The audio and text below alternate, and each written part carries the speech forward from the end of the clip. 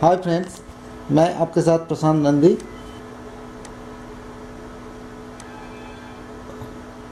Online banking में कैसे pan card और आधार कार्ड आप लिंक कर सकते हैं, ये देख लीजिए। मैं गूगल पे आया और वहाँ पर टाइप कर दिया ऑनलाइन एस बी आई देखिए, ये आ गया और उस पर हम क्लिक कर देते हैं। और ये देखिए, पहले ऑनलाइन एस बी आई है इसको हम कर देते हैं। ये पर्सनल बैंकिंग है कॉरपोरेट बैंकिंग है हाँ, और ये लॉगिन न्यू वर्जन और लॉगिन है और लॉगिन लाइट है। हम लॉगिन न्यू वर्सन पे क्लिक कर देते हैं। और ये देखिए राइट साइड पे कंटिन्यू टू लॉगिन इस इस पर हम क्लिक कर देते हैं।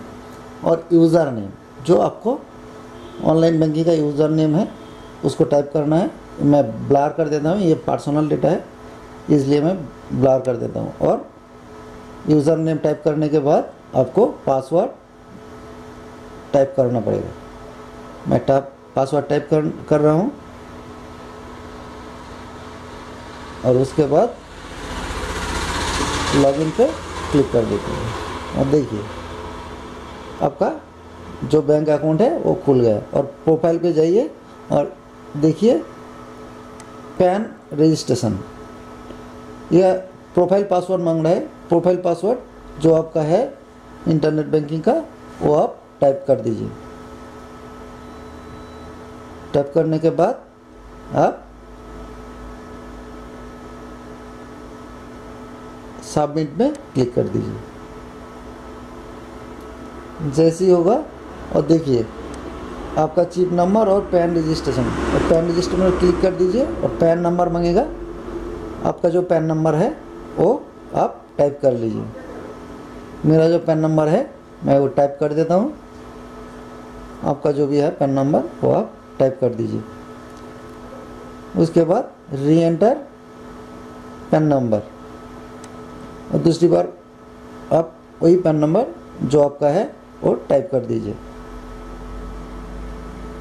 उसके बाद आप सबमिट में सबमिट में क्लिक कर दीजिए। और देखिए, ये आपका नेम दिखाएगा सी एफ़ आई नंबर और पैन नंबर दिखाएगा। उसके बाद आपको क्या करना है कन्फर्म पे आप क्लिक कर दीजिए। जैसे आप कन्फर्म पे क्लिक करेंगे, आपका जो मोबाइल नंबर रजिस्टर है और बैंकिंग में, उस पर एक मैसेज आएगा। उस पर ये हाई सिक्योरिटी पासवर्ड और बैंक की तरफ़ से देगा। देखिए, मेरा आ गया मैं ये टाइप कर देता हूँ। आपका जो मैसेज है, वो आप टाइप कर दीजिए हाई सिक्योरिटी पासवर्ड का, और उसके बाद कन्फर्म पे क्लिक कर दीजिए। और देखिए your PAN update request reference number दे दिया है। ये आपका काम हो गया। उसके बाद अब हम जा रहे हैं आधार कार्ड को कैसे लिंक करेंगे? देखिए, नीचे नीचे और नीचे, देखिए लिंक योर आधार नंबर। मैं इसको क्लिक कर देता हूँ, फिर प्रोफ़ाइल पासवर्ड मांगेगा, मैंने शायद गलत लिख दिया। और देखिए, आपका ट्रांजैक्शन अकाउंट नंबर मांगेगा, और ट्रांजैक्शन अकाउंट नंबर को आप सिलेक्ट कर लीजिए, उसके बाद आपका मोबाइल नंबर अपने आप आ जाएगा। उसके बाद आपको अपना आधार नंबर जो बारह डिजिट का है, वो टाइप कर देना है। मेरा जो आधार नंबर है, मैं वो टाइप कर देता हूँ।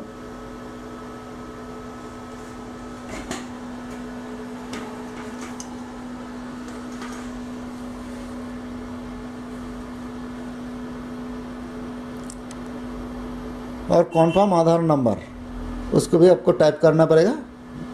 फिर से आप टाइप कर लीजिए। टाइप करने के बाद आप सबमिट में क्लिक कर दीजिए। और फिर से आपको एक मैसेज आएगा जो आपका बैंक अकाउंट के लिंक में है। और वन टाइम पासवर्ड आपको जो आया, वो यहाँ पर टाइप कर दीजिए। उसके बाद आप कंफर्म कर दीजिए।